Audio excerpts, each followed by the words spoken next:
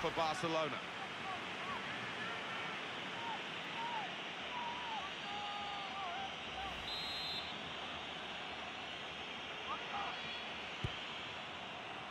Lionel Messi!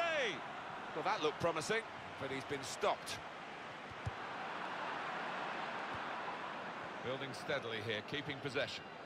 That's good support play from his teammates. Shots on here. Class act. Ivan Rakitic